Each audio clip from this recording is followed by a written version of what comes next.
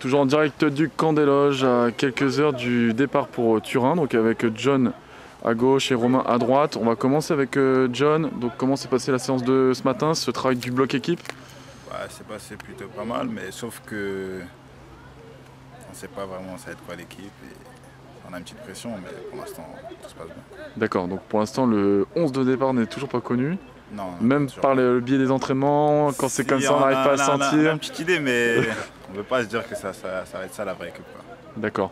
Ce déplacement à Turin, est-ce que c'est des choses que toi tu as connues avec Bastia ou c'est tout nouveau c'est... Ouais, c'est tout nouveau pour moi. Bastia, c'était pas, c'était pas le même niveau. Euh, maintenant, ça, ça va être une vraie compétition et on va l'aborder de- d'une nouvelle manière et d'une bonne manière. surtout. Donc justement, cette bonne manière, c'est quoi? C'est euh, c'est, euh, c'est de la pression, c'est euh, de la concentration, moi, c'est de l'envie? Franchement, j'ai pas la pression, c'est plutôt de l'envie, surtout, surtout de l'envie. Et c'est une joie pour moi de découvrir ce genre de compétition. Parce que c'est pas mal. Et la défaite de Lille elle risque pas de peser là dans, dans les Non, têtes. je pense que la défaite de Lille, c'était plutôt sur, une fatigue, sur beaucoup de fatigue. Là, je pense qu'on a récupéré et qu'on peut, on peut retrouver notre niveau.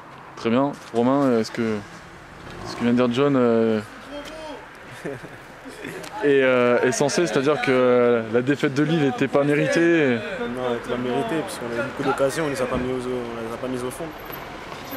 Voilà, hein, c'est ça les matchs, dominer n'est pas gagné, comme on dit.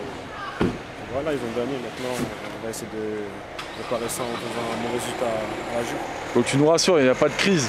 Non, il n'y a pas de prise. non. L'état d'esprit est... Non, tout est tout est bon, tout est bon. L'état d'esprit, sur le terrain, aller dans le vestiaire, tout est bon. Turin, donc c'est quand même un sacré client. Euh, comment, euh, dans quel état d'esprit vous y allez? Est-ce que c'est bon là? Vous êtes, on y va pour vous, êtes- gagner, de toute façon. vous êtes prêts, bien prêts? Ah, On n'a rien on rien à- Voilà, on a un gros club nous aussi, est Paris Saint-Germain. Voilà, on nous, on va pour gagner. On On va a- d'eux. On a senti coach euh, Bechkoura euh, bien, bien, bien concentré ce matin, qui a rappelé quelques euh, règles de. Ouais, de le vie de groupe. euh, Le coach il est toujours comme ça, hein, même si on va jouer le, à Frileuse, il sera toujours comme ça, et ça. Il est comme ça, il change pas.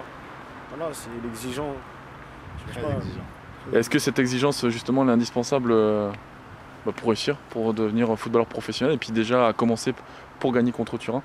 Ouais, je pense que. Non, je pense qu'il le fait d'un bon fond, qu'il a raison, que c'est pour nous, quoi. Mais maintenant, comme nous, on est jeunes, on a la tête dure, on veut toujours euh, se rebeller, mais au fond, c'est lui qui a raison.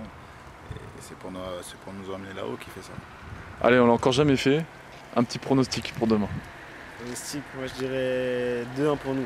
2-1, donc dit Romain et John, Ah, 2-0, moi aussi. 2-0. Bah, c'est ce qu'on vous souhaite en tout cas, tout au moins pour qu'il y ait une victoire, même si c'est par le plus petit des scores. On vous souhaite euh, une bonne journée, bon déplacement et puis que le meilleur gagne. Merci.